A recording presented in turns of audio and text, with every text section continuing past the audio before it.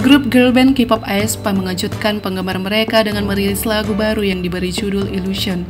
Single ini kabarnya merupakan tembang pembuka untuk mini album anyar mereka Girls.